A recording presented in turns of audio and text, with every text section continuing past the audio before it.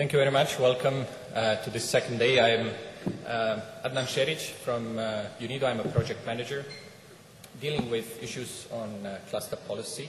And um, I will uh, take just a few minutes basically to um, set the stage uh, for what is to follow and what my colleagues or collaborators on some of the projects will then report on uh, need UNIDO's interventions uh, in terms of cluster policy in, in, in two countries, in Vietnam and Montenegro. Um, let me just briefly start by um, setting the stage by actually providing a bigger picture on where and how we nest cluster policy within the larger industrial policy framework. And in order to do that, I think it is very important, and Menu has already mentioned that at the beginning, to take into consideration the, the bigger picture of the current political economy development uh, around the globe. And this is basically, we are, what we are basically observing are the changing patterns of investment and trade flows. And this is more, most starkly highlighted by the emergence of global value chains. So we see an increase in foreign direct investments, they are going more away from the established developed markets towards developing economies. And they trigger obviously also a change in trade flows because a lot of, uh, a lot of uh, uh, foreign uh, or a lot of trade is in fact intra-industry, intra-firm trade. Which leads us basically to a, a new global condition of competition in a way that firms are now more and more competing uh, for resources, markets, skills. The first two in particular apply to developing countries, the, the next frontier markets. And this obviously presents the developing countries with uh, policy challenges and uh, translated basically into a very plain language, the basic question that policymakers are asking themselves is how to access new markets or how to access markets in general, how to get technology on board, how to increase or upgrade the skills or the skill sets which has actually, this development has led to a, a renewal of interest in industrial policy. Uh, we, are, we are slowly moving away of, also on the donor side, from the focus on social outcomes towards more productive activities. So basically using active industrial policy in order to uh, compensate for certain market failures and to enhance operations of certain markets. So when we speak about cluster policy in general, I think one needs to keep the contents in mind and nest it as one of the tools that a policy toolmaker, uh, a policymaker has in his toolbox, as opposed to consider it as the only tool for, for uh, uh, industrial policy development. So that's very important. So let me just go briefly uh, back away from the political economy argument towards a purely economic argument for having a cluster policy in the first place. And I assume many of you in this room are economists, so you probably uh, you're, you're going back to your Econ 101 class probably. But um, the principal rationale, so at the very heart, what is at the very heart of cluster policy, is basically uh, the presence of certain market failures and specific local ex externalities, to use the economist lingo, basically. So if we speak about externalities that affect uh, cluster formation, then typically we refer to information asymmetries and coordination failures. The first one, just uh, to remind you of. So basically, to, or to give an example, so if a company uh, in, in, a specific locality is investing into a technology, its peers, uh, suppliers, business development institutions, etc., may not be aware of it, and therefore they may not be in a position to provide the complementary goods that are needed or, or complementary investments. Therefore, we are having a suboptimal solution in, in, in a sense.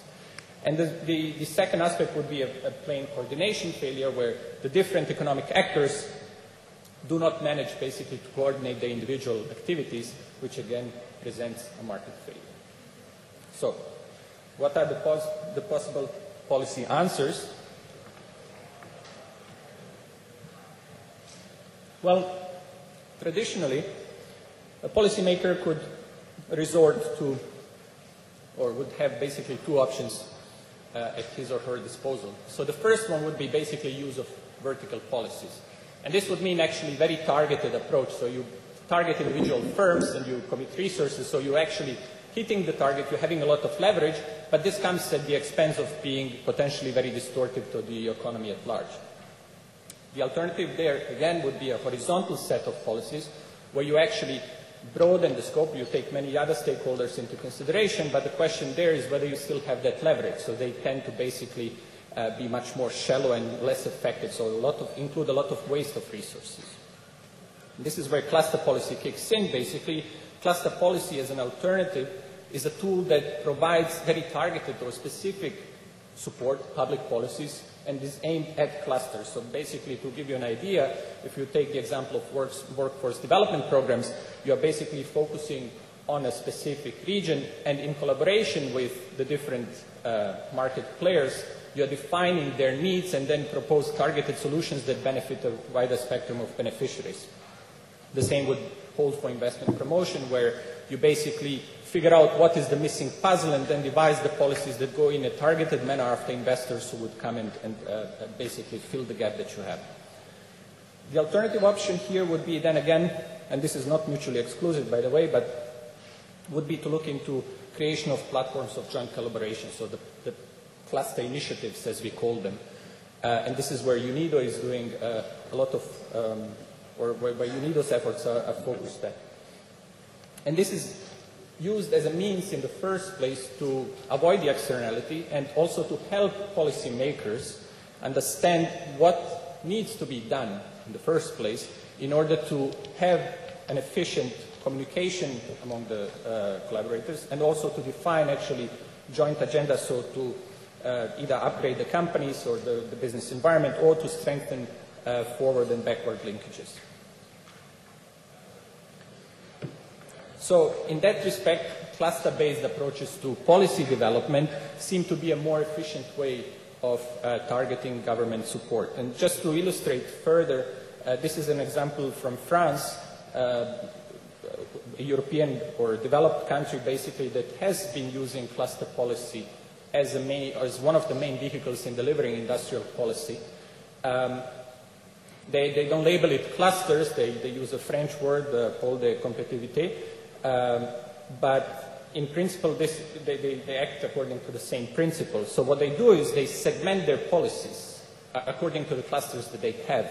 So um, there's, a, there's a layer of, of clusters that can compete in principle at the global level, and there they use modes of competition to actually uh, attract or to provide support, targeted, very targeted support, or to start or to further support cluster initiatives at, at a very much global level, so very targeted measures that go directly at those very competitive clusters. Then the next layer would be the national, or at the national level, where you have clusters that are um, fairly competitive but not yet there at the level that they compete globally. So they would need then again another set of measures that are very much space, uh, uh, uh, targeted to that strata of um, uh, the cluster population. And then you have a specific set of policies that go then further down at the local, regional level um, that look into uh, issues of uh, regional or local economic development and that are policies, again, aimed at fostering cluster development but take a broader spectrum of, of policy into consideration. So not necessarily aiming at reaching the national global level. So in sum, it's, it's basically a basket of policies that are on the one side sector specific and on the other side, very targeted. So is there an optimal approach to cluster policy, or could that serve as an optimal approach to cluster policy? I think that's very difficult to say. The most important, I mean, one of the lessons learned out, coming out of all these uh, case studies is basically that it is context specific in the first place. So it will very much depends on your, uh, depend on your country context. Um, the other, the other learning is actually that it's also a very dynamic process. So in principle, there are no static, or these are not static policies, but rather they evolve over time and they, they need to be tracked in. So the experience from, from the French, Europeans, or even the US is basically that um, the approaches that they have taken on board are considered as, the as optimal approaches to develop further development of industrial policy. Now, just to link into that, and I would, link, I, I would provide here a, a brief link to the um, literature on economic geography that has been basically studying clusters at large. As a policymaker, what you are aiming at basically, or the, the that's actually my time. So I will take just another two, three minutes if you don't mind. Um, if looking at the academic research, basically what we have is a clear indication that agglomeration and competitiveness go hand in hand. There is a strong correlation uh, between the two. So if you move to the, to the right on the, uh, on, on, the horizontal axis, so the more agglomeration you have, um, and if you look at the uh, vertical axis, or the better competitiveness you have in terms of employment outputs, etc., you would find countries like, or regions within countries like Germany or France in the uh, upper uh, right-hand corner.